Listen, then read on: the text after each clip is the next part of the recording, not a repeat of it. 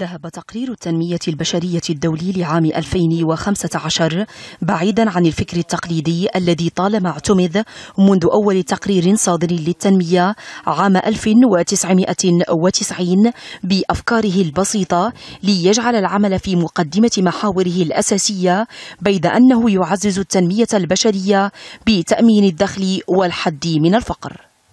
وتناول تقرير التنمية البشرية هذا العام أمثلة ملفتة عن التقدم الإيجابي الذي أحرزته بعض الدول حيث دخلت خمس دول عربية في خانة تنمية بشرية مرتفعة جدا وأتت قطر على رأس هذه الدول متبوعة بالسعودية ثم الإمارات وبعدها البحرين وأخيرا الكويت.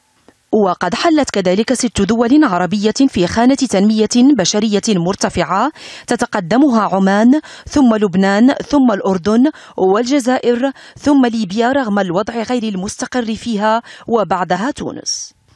وقد توزعت بقية الدول العربية على خانتي تنمية بشرية متوسطة أتت مصر على رأس القائمة ثم فلسطين بعدها العراق ثم المغرب وأخيرا سوريا.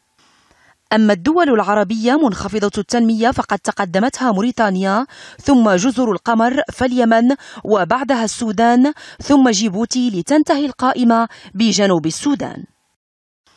هذا وخلص التقرير إلى أن مستويات التنمية البشرية في الدول العربية تتحسن إلا أن التقدم يبقى مقيدا في منطقة تسجل أعلى معدلات البطالة بين الشباب وأدنى معدلات المشاركة في القوى العاملة للنساء. زينب خرفاتي العربية.